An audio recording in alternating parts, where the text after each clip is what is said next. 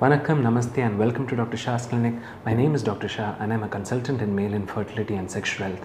And in today's awesome video, I'm going to tell you what's the normal sperm count for a man to father a child naturally.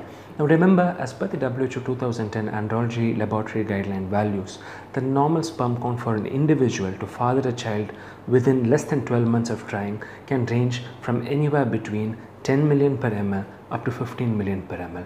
Now, the most commonest question that I get from my patients is, uh, patients are, uh, uh, doctor, if the count, if my sperm count is less than 10 million per ml, would that mean that I, will, I may not be able to father a child naturally? No, it's absolutely not like that.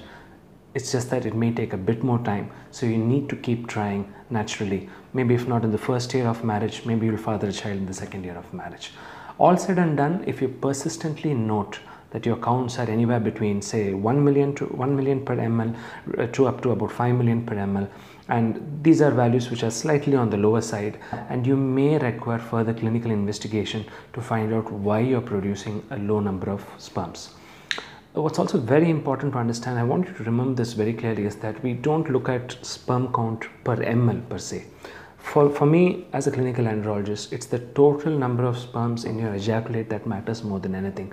So, just as I told in my last video, if you have 15 million per ml or you have 10 million per ml, but if it's present in a 3 ml or a 4 ml a semen volume, that's 10 into 10 million per ml into 3 ml, that's about 30 million for the complete ejaculate. That is still normal. So that's something you need to really, really remember and bear, really, really remember and bear it in mind. Also, what's very important to understand here is that when we do a semen test, all we are looking for is one a normal uh, semen report. That is, if you have one report that's actually normal, that's it, you're considered normal.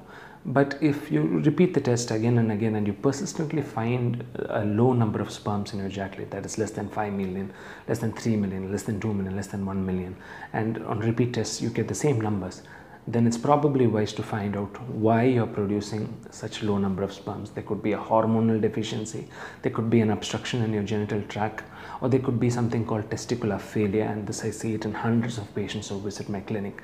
And these are all conditions that require active medical management, medical or surgical management.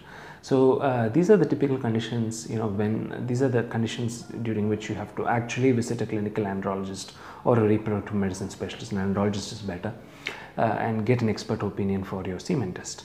So I hope you enjoyed uh, listening to this video and I will be coming up with a lot of videos. Please do like, comment, subscribe and share this video with your loved ones and your friends. Uh, this is Dr. Shah, consultant in male infertility and sexual health, signing off for now. Goodbye.